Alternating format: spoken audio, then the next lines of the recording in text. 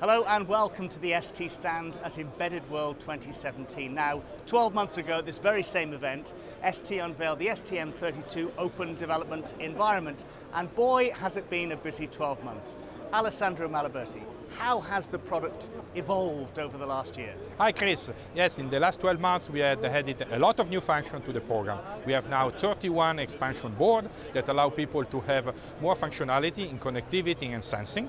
We have introduced the function packs. Function packs are a predefined package of software that include functionalities that are usually found in IoT application and we have introduced modules. These are little boards that allow developer not only to create a prototype, but even to have a final device that can go in production. So just imagine for one second, I know it might not be easy, I am developing an IoT application. How is this going to help me? Well, let's suppose you are an IoT developer, like you said, and you want to create an application that sends data from the environment and send this data to a cloud. So the first thing you need is to create a sensor node.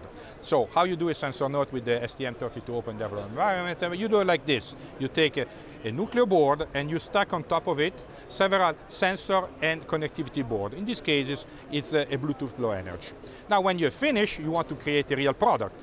So to create a real product, you can use one of our module that is created, this is a module created by third party called SensiEdge. And this module contains exactly the same components of this stack of boards. So it's clear that if you want to go to production, now you can put this in a real product.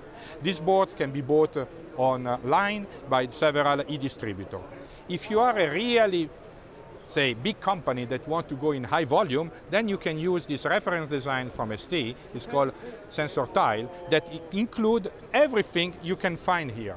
So really you have now a sensor node that can be connected to the cloud. Okay, well that's my next question. Once the data is there, how does it get to the cloud? Oh, you have several ways to connect this uh, sensor node data to the cloud. Either you have a device like this that is connected to the cloud by Wi-Fi. This is another example of module made by a third-party company. It's called CloudGem by a company called RushUp. Or you can create what we call a network of nodes that are connected through a gateway to the cloud, and you can see that we can send this data to cloud providers such as Microsoft, Amazon, or IBM. So this is how the data, data are connected, and the advantage is that when you have done this, you can see the result on a cloud server.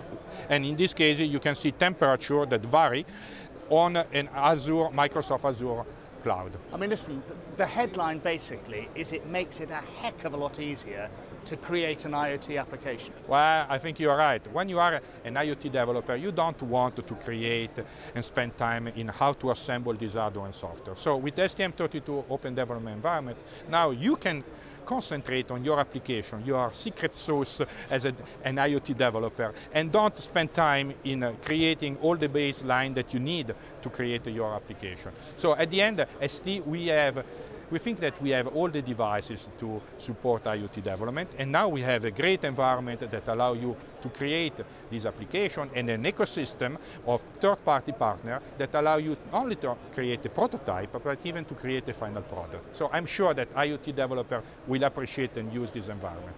As always, it is a pleasure talking to you. Thanks, Alessandro. Thank you.